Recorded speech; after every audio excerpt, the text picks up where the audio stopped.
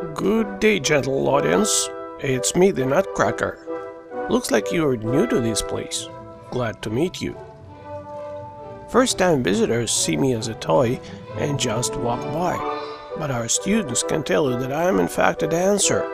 Even though most of the time I stay here, my elevated position allows to see and hear everything, so I do know a thing or two more than you would think. This is Victoria International Ballet Academy, one of the most professional ballet training schools in Canada. It is 10 years old, in fact, older than most of its students. The new two-story school building has academic classrooms and four spacious ballet studios with ceilings so high that these alone carries a powerful motivational message. After all, the environment that surrounds a person in early years soon becomes part of his or her own model of the world, affects self-esteem. At school age, children spend most of their day outside the family. Who, where, and how teaches them. What they learn ultimately determines who and what will become of them. This school is not the only one in the world where ballet was made an integral part of the educational process. And yet, unlike most, the Academy employs not just talented ballet dancers who have completed their artistic career, but professional educators. They do teach all the intricacies of the classical ballet, but more importantly, they use it as an educational tool. I know what I'm talking about. The diplomas of the graduates of the St. Petersburg Vaganova Ballet Academy Pedagogical Department, Victoria Mironova and Helen Dmitrova are right here on the wall next to me. Besides, the very atmosphere in the four spacious ballet classes is even more telling than any diplomas. Strict and demanding, yet at heart kind and caring Victoria Mironova, who is the founder and artistic director of the Academy, and its principal, Vladimir Demine, who unfailingly remains attentive to the students' needs, combine their efforts to create an amazingly warm, homely environment which is immediately sensed by the children and their parents. The second floor is occupied by the students of the day school. Apart from choreography, they learn most of the general courses required by the Ministry of Education curriculum to qualify for the Ontario High School Diploma.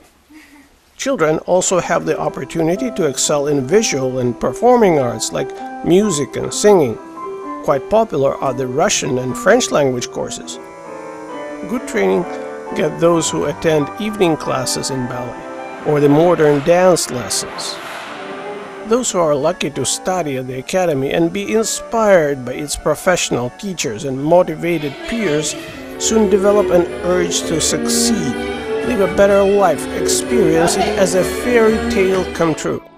The first graduates of the school have received excellent education and successfully continue their studies through scholarships from universities in Canada and abroad.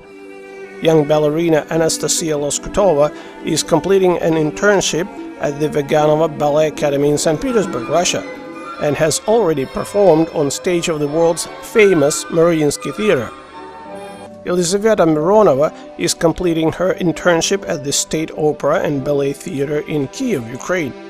Both girls already have contracts with respectable ballet companies, and there's many more success stories in the making to be told.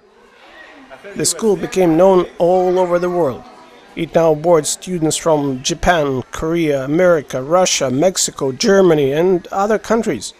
Their flags hang high above in the main foyer. Heads up to see them all. In May 2013, our academy celebrated the 10th anniversary of its founding. Open Doors event and the little concert attracted much attention. With not enough seating to accommodate all, extra chairs and even gymnastic benches had to be brought in. Short ballet pieces were intermixed with instrumental and vocal performances by students of the Department of Music. In the adjoining class, the Visual Arts Department hosted its engagingly popular children's drawing competition. The next one held an open ballet lesson for beginners at different age groups and the dance department students' rehearsals. All of that was fun to watch, but personally, I would rather make visitors see the performances of our ballet company. It is there where I come to life. My magical transformation takes place every year on the Christmas Eve at the professional stage performances carrying my name. The shows are performed by the students, graduates, and invited dancers from some of the best ballet companies, with my participation, of course four seasons in a row, all tickets to the four-day events were sold out in advance. This season, there will be five days. You will see me there in a very different role, strong and elegant in the dance, defying gravity in the jumps. Remember, I'm not just a nutcracker, but also a graceful and handsome prince. Come to our performances and see for yourself. And in between the shows, I stand still here on the cabin. Always glad to have a chat, or maybe just exchange a few words with an intelligent person like you. My address is easy to remember 1 7 Bradwick Drive, Old Cabinet by the entrance, top shelf. Do not hesitate, bring your children. We may have a lot to talk about.